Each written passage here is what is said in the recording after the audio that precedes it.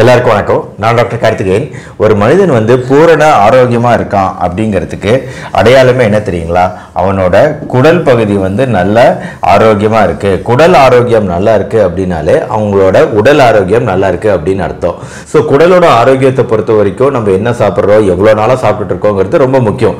இதில் ஆட்டுக்கால் சூப்புக்கு ஒரு சின்ன பங்கு இருக்குது அப்படின்னு சொன்னால் உங்களால் நம்ப முடியுமா? ஆட்டுக்கால் சூப்பு வந்து எளிதாக ஜீரணமாகக்கூடிய ஒரு நல்ல ஒரு உணவு.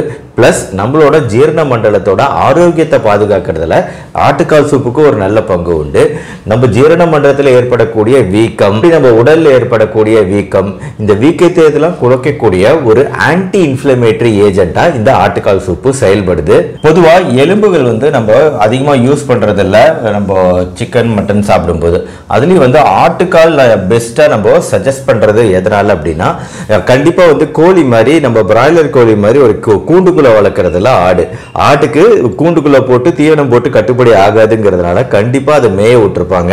ஸோ கண்டிப்பாக ஆடுகளோட எலும்புகள் கொஞ்சம் ஸ்ட்ராங்காக இருக்கும். ஸோ இந்த மாதிரி புல்லு தின்னு வளரக்கூடிய இந்த பிராணிகளோட எலும்புகள் கண்டிப்பாக ஸ்ட்ராங்காக இருக்கும். அந்த எலும்புகளில் பல சத்துக்கள் இருக்கு. அதனால தான் நான் இந்த வீடியோவில் ஆட்டுக்கால் சூப்பு அப்படின்னு குறிப்பாக ரெக்கமெண்ட் பண்ணுறேன் பொதுவாக இந்த ஆட்டுக்கால் சூப்பு தயாரிக்கிறோம் அப்படிங்கன்னா ஸோ அதை வந்து நம்ம என்ன பண்ணுவோம்னா அது ஒரு பக்கெட் அதாவது ஒரு பாட் எடுத்துக்கோங்க. இந்த பாட்டில் வந்து ஒரு நாலு லிட்டர் அளவுக்கு தண்ணீர் எடுத்துக்கிறோம்.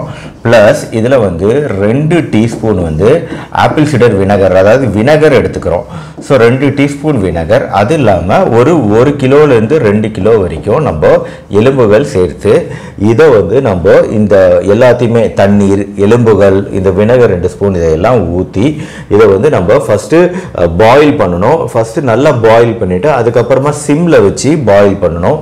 எவ்வளோ நேரம் நம்ம பாயில் பண்ணுறோமோ அவ்வளோக்கு அவ்வளோ நல்லது. ஆட்டுக்கால் சூப்பை பொறுத்த வரைக்கும். எதனால் ரொம்ப நேரம் வேக வைக்கணும் அப்படின்னா ஸோ அப்போ தான் வந்து நம்ம அந்த எலும்பில் இருக்கக்கூடிய சத்துக்கள் முக்கியமாக வந்து எலும்போட மஜ்ஜைன்னு சொல்லக்கூடிய எலும்போட நடுப்பகுதியில் வரக்கூடிய சத்துக்கள் இது எல்லாமே வந்து முழுசாக வந்து இந்த தண்ணீருக்குள்ளார இந்த சூ இந்த தண்ணீருக்குள்ளே இறங்கணும். ஸோ மெயினாக இந்த எலும்புகளில் இருக்கக்கூடிய சத்துக்கள் வந்து இந்த தண்ணீரில் இறங்கணும் அப்படின்னா அதுக்கு முக்கியமான தேவை வினகர் தான் இந்த வினகர்னால தான் இந்த எலும்புகளில் இருக்கக்கூடிய சத்துக்கள் உள்ளே இறங்கும். ஸோ இந்த வினகர் வந்து நீங்கள் எவ்வளோ நேரம் பாயில் பண்ணுறீங்களோ அவ்வளோக்கு அவ்வளோ இந்த எலும்புகளில் இருக்கக்கூடிய சத்துக்கள் இந்த தண்ணீரோட சேர்ந்து போன் பிராத் போன் பிராத் அப்படின்னு சொல்லக்கூடிய ஒரு சூப்பா மாறுது. ஸோ இந்த போன் பிராத்தை எடுத்து நம்ம மறுபடியும் சூப்புக்கு யூஸ் பண்ணலாம். அதாவது கூடவே இது கூட இன்னும் என்ன சேர்த்துவோம்னா உப்பு சேர்த்துவோம். கூடவே வந்து பெப்பர் மிளகு சேர்த்துவோம். ஸோ இந்த உப்பு பெப்பர் மிளகு போன்றவை அதுக்கப்புறமா நம்ம சேர்த்து இதை சூப்பாகவே நம்ம கன்வெர்ட் பண்ணி நம்ம அருந்துறோம்.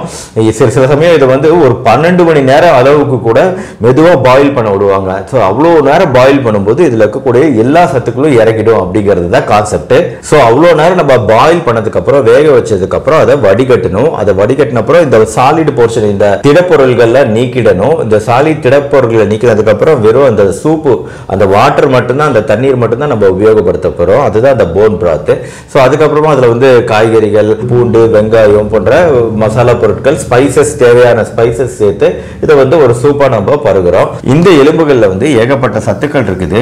கால்சியம் சத்துக்கள் இருக்குது மெக்னீஷியம் சத்துக்கள் இருக்குது பொட்டாசியம் சத்துக்கள் இருக்குது. அப்புறம் பாஸ்பரஸ் சத்து இருக்கு. ஸோ இந்த சத்துக்கள் எல்லாமே நம்மளோட எலும்புகளோட உறுதித்தன்மைக்கு ரொம்ப தேவையான சத்துக்கள். அதை தான் மாத்திரையே நம்ம சாப்பிட்டுட்டு இருக்கிறோம். அந்த மாத்திரைகளில் வந்து எதுலேருந்து தயாரிக்கிறாங்க? இதே எலும்புகளோட எலும்புகளோட சோர்ஸாக வச்சு தான் தயாரிக்கிறாங்க.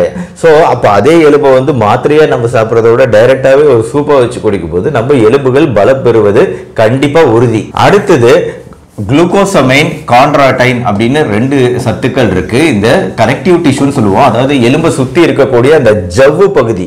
இந்த ஜவ்வு பகுதியில் குளுக்கோசமைனும் கான்ட்ராடைனும் இருக்கு. ஸோ இந்த குளுக்கோசமைனும் கான்ட்ராடைனும் தான் நம்ம வந்து மூட்டு வலி இருக்கும்போது ஒரு சத்து மாத்திரையா நம்ம பிரிஸ்கிரைப் பண்றது இந்த குளுக்கோசமைனும் கான்ட்ராடைனும் இந்த குளுக்கோசமைன் கான்ட்ராடைன் வந்து நம்ம இந்த எலும்பு சூப் சாப்பிடும்போது இயற்கையாகவே அந்த ஜவ்வு பகுதியிலேருந்து நம்மளுக்கு கிடைச்சிடுது இந்த சூப் மூலமா. இதே கான்ட்ராக்டின் குளுக்கோசமைனை தான் டேப்லெட்டாக நம்ம கொடுக்குறோம். இதை நீங்கள் உங்கள் டேப்லெட்ஸ் நீங்கள் மூட்டு வலிக்காக ஏதாவது சாப்பிட்றீங்கன்னா அதை செக் பண்ணி பார்த்தீங்கன்னா கண்டிப்பாக இது இருக்கும். ஸோ நாம் என்ன பண்ணுறோம் இதை வந்து மாத்திரைக்கு பதிலாக ஒரு சூப்பாக வந்து ஒரு உணவாக நம்ம எடுத்துக்க ரெக்கமெண்ட் பண்ணுறோம் அடுத்தது இந்த எலும்போத மஜ்ஜை பகுதி. இந்த இடத்துல என்னென்ன ம- சத்துக்கள் இருக்குது நம்மளுக்கு வைட்டமின் ஏ சத்துக்கள் வைட்டமின் கே சத்துக்கள் இரும்பு அயன் சத்துக்கள் மேங்கனீஸு செலினியம் அப்புறம் ஒமேகா த்ரீ ஃபேட்டி ஆசிட்னு சொல்லுவோம். Omega three omega six fatty acid அதாவது கொழுப்பு எண்ணெய்கள். இதோ இது எல்லாமே வந்து இந்த எலும்போட மஜ்ஜை பகுதியில் இருக்கும். ஸோ இந்த வைட்டமின் சத்துக்கள் வந்து நம்மளோட உடல் ஆரோக்கியத்துக்கு ரொம்ப ரொம்ப அருமையான நல்ல விஷயங்கள். இந்த இதில் இருக்கக்கூடிய இந்த தாது பொருட்கள் மினரல் சத்துக்கள் அதுவுமே நம்மளுக்கு இந்த ஆட்டுக்கால் சூப் மூலமாக கிடைச்சிடுது. அடுத்து ஆட்டுக்கால் சூப் வந்து நம்ம உடல் எடை குறையறதுக்கு ஹெல்ப் பண்ணுது. எந்த வகையில் ஹெல்ப் பண்ணுதுன்னா அதில் இருக்கக்கூடிய ஜெலட்டின் அப்படிங்கிறது நம்மளுக்கு உடல் பசியை குறைக்கக்கூடியது. நம்மளுக்கு சட்டேட்டின்னு சொல்லுவோம் நம்ம. சாப்பிட்ட உணர்வு நம்ம வயிறு ஃபுல்லாக இருக்கிற உணர்வு ஏற்படும். நம்ம இந்த சூப் அருந்தும் போது அதனால தான் முதல்ல சூப்பை சாப்பிட்டுட்டு நம்ம மற்ற விஷயங்களை சாப்பிடும்போது நம்ம சாப்பிடக்கூடிய உணவோட அளவுகள் குறையுது. இதன் மூலமாக எடை குறைப்பு அப்படிங்கிறது நடக்குது. ஆட்டுக்கால் சூப்பில் இருக்கக்கூடிய மற்ற சத்துக்கள் வந்து நம்மளுக்கு ஒரு நிம்மதியான தூக்கம் கிடைக்கிறதுக்கும் வழிவகை செய்து நல்ல தூக்கம் வரும். இதய நோய்கள் சர்க்கரை வியாதி மூட்டு வலி புற்றுநோய்கள் அல்ஜீமஸ் வியாதி இது எல்லாமே வந்து பொதுவாக இதோட மூல காரணம் வந்து வீக்க அணுக்கள் தான். ஸோ இந்த வீக்க அணுக்கள் இன்ஃப்ளமேஷன் நடக்கும் இந்த வியாதிகள் எல்லாம். ஸோ நாம் இந்த சூப் அறந்தும் போது இந்த வீக்க அணுக்கள் குறையுது.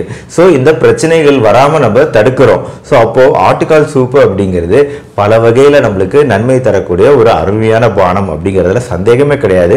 தாராளமாக ஒரு நாள் விட்டு ஒரு நாள் டெய்லியுமே வந்து நூறு எம்எல் இருந்து இரநூறு எம்எல் அப்படிங்கிற அளவில் நாம் எடுத்துக்கிறது நம்மளோட உடல் ஆரோக்கியத்துக்கு நல்லது அப்படிங்கிறது தான் இந்த வீடியோவோட நோக்கம். இந்த வீடியோ உங்களுக்கு பிடிச்சிருச்சுன்னா லைக் பண்ணுங்கள் உங்கள் ஃப்ரெண்ட்ஸ் அண்ட் ரிலேட்டிவ்ஸ்க்கு ஷேர் பண்ணுங்கள் நம்ம சேனல் டாக்டர் கார்த்திகேயன் மறக்காமல் சப்ஸ்கிரைப் பண்ணுங்கள் மறுபடியும் அடுத்த வீடியோவில் மீட் பண்ணுவோம். நன்றி வணக்கம்.